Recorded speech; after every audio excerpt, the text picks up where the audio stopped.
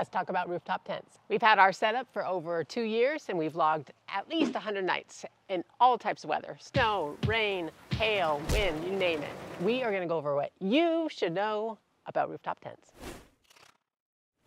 First things first, let's talk about the cost. These things are not cheap. You have your ground tents, which can range from oh, 30, 200. These, 800 to 5,000.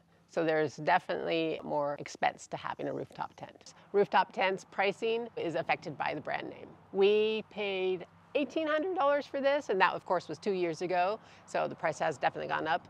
But a very similar product with a very recognized name, twice as much. I think they were actually around 5,000 we were looking at it, so quite a bit more. What it boils down to is a tent might be more expensive, that doesn't necessarily mean it comes with more stuff. Do your research, find the reviews, check them out, see what your needs are, and then go from there. Now that you've potentially spent thousands of dollars on a tent, you want to think about security. We watched a video on Reddit with a guy, he pulled up his uh, pickup truck in a parking structure, pulled out bolt cutters and snipped it right off and tossed the tent into the back of his truck. So security is definitely something to think of.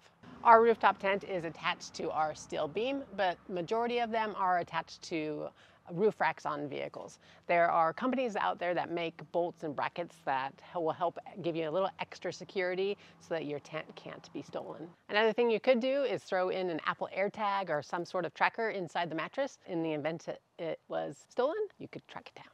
Cool thing about rooftop tents is they are so easy to set up, anywhere from one to five minutes depending on the tent. Let's open ours up. We have a couple buckles on ours and open.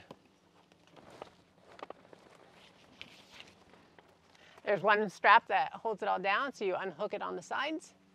What this strap does, which a lot of tents have, is it holds everything in for when you're closing it down. We keep the poles for our awnings, or the window coverings right here, so it's easy to get to.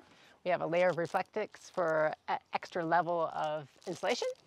So once the strap is off, we're gonna grab the ladder and pull it out until it is extended. We're gonna flip it down, hold one here and one here, and pull it down. We're gonna pull the ladder out until the base is completely flat. So now we need to adjust the ladder. We start at the top. A lot of these tents have metal poles that we use for the rain flap and covers over the windows. The flexible pole goes right into the pre-drilled hole. Put it in the Let's talk about space and how much actual sleeping space you have. Um, a lot of the times tents will exaggerate the amount of people gonna fit.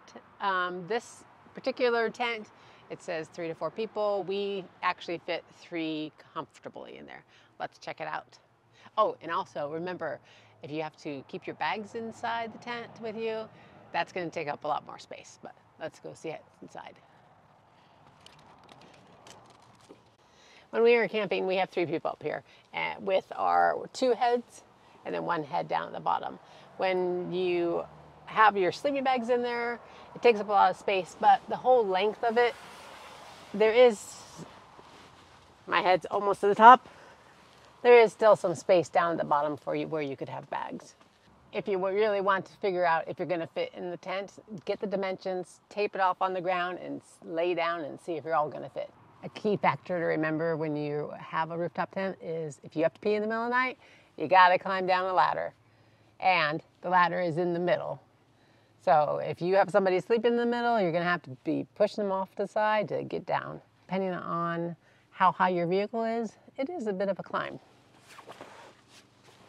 The ladder, when it is set up, it is at an, each step is actually at an angle. So when you're stepping down on these steps, it's digs into the bottom of your foot, which is why, we, of course, we keep our shoes handies and put them on when we're going down. There is a company out there that makes an insert to correct that, and hopefully, eventually, there'll be more options out there. There are two types of tents. There's the soft shell, which is a rooftop tent with a cover on it that has to be removed. And there is the hard shell, which is what we have. It is part of the tent and stays on. This is the inside of the tent. This is the underside of the hard shell. It takes up the whole side. I feel that the, I have a little bit more protection with the hard shell, a little bit harder to get into to get me. We have found that the hard shell is quite aerodynamic going down that road, easy to clean, and very durable. If you have pets, you need to make sure you take that into account because it is a little bit higher up. We had a very large dog and there was no way he was getting up that ladder, so one of us slept in a tent with him. But if it's a smaller dog, I can see being able to manage carrying him up. We've seen people online make special ramps for their pets or have them go up on their hood and up through the window. Just figure out how it's gonna work best for you. Another thing to remember is if you're camping in the rain, this tent has two support systems on either side, but of course on this model, there's nothing supporting the middle. So when the rain is coming down, and if it's super heavy, it's gonna be coming right down the middle, right down the ladder. You also want to think about where you're going to dry this tent out at. You need to have a space. You don't want to put this tent away wet.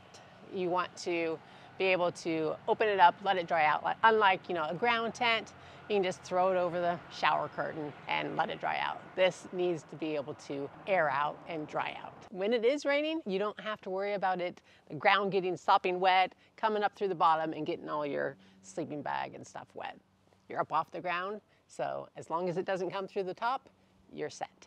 One thing to remember with regards to a rooftop tent is mobility. You get to camp, set up everything, and whoops, you forgot the beer. You've gotta run to the store. That means you have to close everything back up and hit the road. If you're finding that you're gonna be doing a lot of driving while you're camping, you might wanna think about putting it on a trailer. We did the DIY trailer version.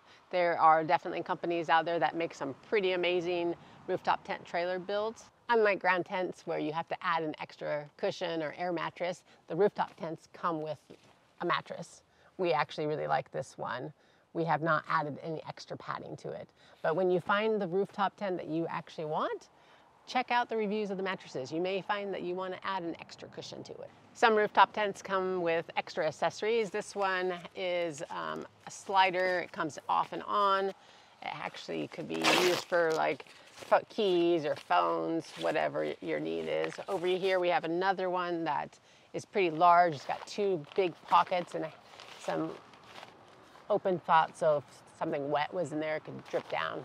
Be perfect for shoes. Most rooftop tents have some sort of external internal lighting system. Over here we actually have one underneath on both sides of the tent. And one of the cool features about that is it changes colors as well. And then inside, of course, there is another set of lights. It does need an external power source. We use our Jackery for it, but it does, puts off a lot of light at camp. If you want to learn more about this trailer build, check out our entire series here. And we would love to hear from you. So let us know if you have any questions in the comments below. And if you want to know more about us, check out exploretrekadventure.com and we'll see you next time.